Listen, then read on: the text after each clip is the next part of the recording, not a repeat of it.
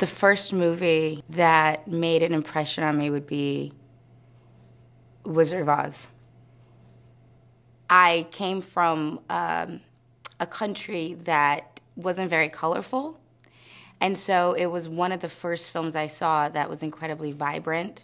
I'm from a small town called Chernivtsi, Ukraine. I was uh, seven and a half when I moved to the States. It was actually at the embassy, the American embassy, right before we flew out, that that's the first time that I ever saw a black man.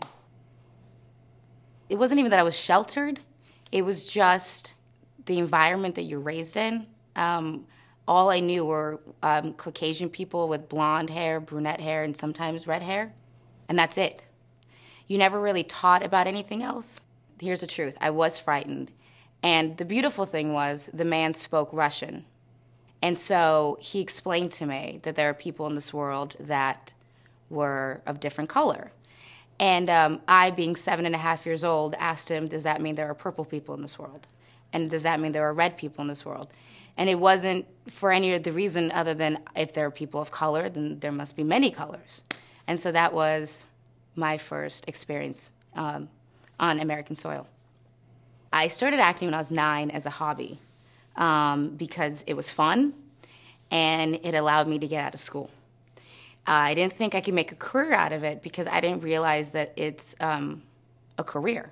I always associated careers with college diplomas. The first thing I did when I was nine was a Barbie commercial. Oh my God, and I got to keep the Barbie. It was sweet. I did a lot of commercials when I was little, from like the age of nine to 14. At 14, I did 70s, and I guest starred on just about every television show that was on the air, from like Baywatch to uh, Walker, Texas Ranger. Oh, on Baywatch, um, I was on it twice. The second time I was on it, um, I played a blind girl who gets lost in the forest. Um, a blind girl who gets lost in the forest, I guess, next to the beach. and needs to be saved. and then here's the crazy thing that I remember thinking. So I'm playing a blind girl, and I'm in this forest. Oh, and there's a fire, of course. So I'm in this forest, there's a fire, I get saved. And then I go boogie boarding. And I remember thinking, well, if I'm blind, how am I boogie boarding? No one ever gave me an answer. What happened when I was 22 was um, my contract with 70s ended. That 70s show, yeah. Yeah. Um, and uh, I think it was, I had to make a conscious decision of what I wanted to do with my life. And then at 22, I kind of realized for the first time in my life that I really do love what I do. And, um, and I can't imagine doing anything else. And so I had to make the decision to make it a career. And with that came the decision to make smart choices instead of just making choices for fun. How much time do you got for me to tell you the story of Black Swan? I'd never danced in my life. Um, I trained for four months uh, for seven days a week, five hours a day, including one day of car- uh, an hour of cardio a day. Um, I had one day off on my birthday. I tore a ligament. I dislocated my shoulder. I have two scars on my back, and it was worth every minute. I will never dance again.